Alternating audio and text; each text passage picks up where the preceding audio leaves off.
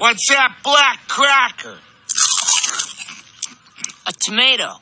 You're not going to eat a sandwich from a truck stop men's room, are you? Yeah, what's the worst thing that could happen?